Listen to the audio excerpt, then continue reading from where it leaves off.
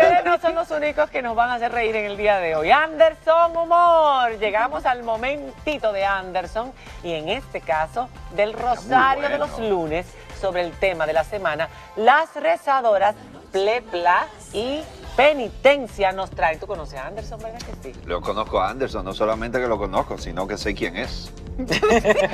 Ay, Dios, Carlos. Anderson, adelante, disfrutemos de su rosario, las rezadoras.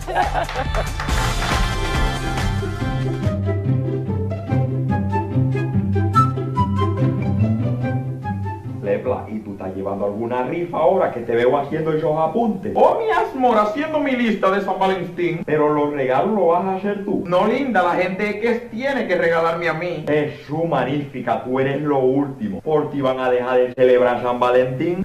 Comienza un rosario mejor en esta semana del amor y la amistad. Ya entramos a la semana del amor y la amistad. Muchas mujeres solteras que la veo desesperada. Y en esta misma semana se vislumbran muchas cosas. Las mujeres chapeadoras se ponen más cariñosas. Y ahora los hombres tacaños ya tiraron la primicia. No puede salir el 14 porque es miércoles ceniza. Existe por tradición regalar peluche y flores. Que a mí me regalen romo para calentar los motores. Andan buscando los hombres las mujeres como lince. Y yo ando buscando un novio solamente hasta el día 15. Rogamos a San Valentín que el amor se fortalezca. Y dejen de estar escribiendo por las redes cosas frescas. Cuando yo era jovencita esta fecha era sagrada. Pues yo como no soy vieja ahora es que voy a disfrutarla. Cuídense de una rialenga que le haga ojo bonito. Los planes de esta semana son quitarle los chelitos. Como siempre este rosario plepla debe terminarlo. A mi 17 novio estoy pendiente a mi regalo. Señores, no le hagan caso a esa rialenga que no sabe lo que dice. Mua.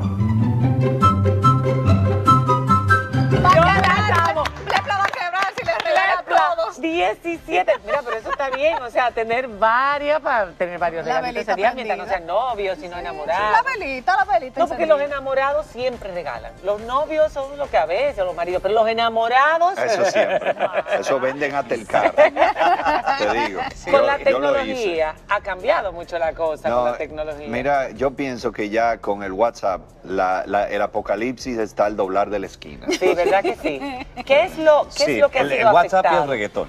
Y el- Son los do- las dos señales. Sí, exactamente. Trump, Trump el reggaetón. Exactamente.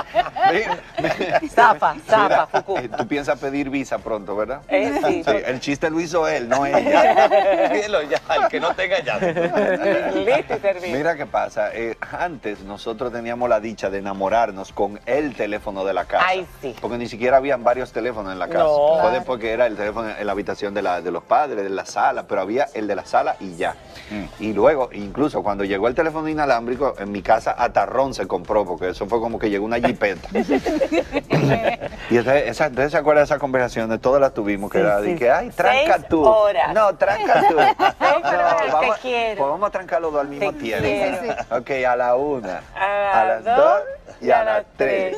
Chuchi, no trancaste. Ay, Dios. Y el, y el papá de la muchacha levantaba el teléfono. Son las once y media de la noche. Ven a acostarte. No son horas para hablar de una Sí. familia, una familia de que es un acto de envidia de los padres porque ellos nunca tuvieron esas conversaciones, porque ellos nunca tuvieron planes telefónicos residenciales con todos los minutos gratis.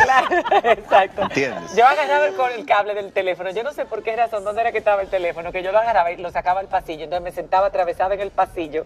Y como en el pasillo hay un, había un buen eco, Ajá. ahí uno cantaba, hablaba, y pasaba horas ahí la el voz suelo. bonita. Se Ay, me está Dios. saliendo y el una te lágrima. quiero, te quiero, Ay, te Dios quiero. mío. Y el te quiero se lo decías en todos los tonos habido y por haber, a ver cuál sonaba mejor. Te quiero. Te quiero. te Señores, quiero. romanticismo que no se pierda nunca. Y si el día de San Valentín llega para que recordemos que no podemos perderlo, aunque sea una vez al año, pues que se practique. Y bienvenido sea el día de San Valentín. ¿Ustedes qué le van a regalar a las suyas? Ya, Eh, una- rápido. un anillo. Anillo, Oh, de diamante. oh, eh, pero espérate, De ¿qué diamante. novia Ella y no está bien, anillo? ahora- No, no está bien. Bueno, la mía- Son novios. la mía yo sé- Eh, vamos yo a sé. Mismo por internet. No, déjame decir, a mí me gustan los regalos espontáneos y la mía yo sé que está en el tránsito ahora y no está viendo esto. Entonces, a la mía le compré un, un collar que vi, estaba en estos días en Chabón y entonces estaba y vi una prenda que dije esto es y lo compré así como guay. Ya saliste Un impulso, un impulso, te ni lo volviste loco. pensé, ah, para mí Diste un son- tarjetazo ahí, fue. Así mismo, Así mismo, caramba. Ya tú sabes. Vaya pensando En lo que va a regalar. pagar esa vaina. a su esposa que sorprenda a las señores. Vamos a usar la imaginación y ni mandemos a otra gente. Vamos a usar, vamos a esmerarnos y empeñarnos. Que sí, nosotros vemos que costó esfuerzo, aunque no, no sea lo que quizás hubiéramos deseado, lo valoramos y lo apreciamos y lo agradecemos. Así, Y- señores, Y llévela a reír. éxito. Ticket Amor con humor Express. se paga. Vayan a Ticket Express ¿A y qué al- hora? eh, Escenario 360. Sí, 8.30 de la noche. Miércoles. Puede llamar, míralo ahí, al 829-953-0360. Llenemos esto para que estos muchachos tengan con qué pagar esos regalos. Sí, señor. El anillo y el Cuando collar. regresemos de la pausa, bienvenido a casa, Antonio, siempre. Ya volvemos.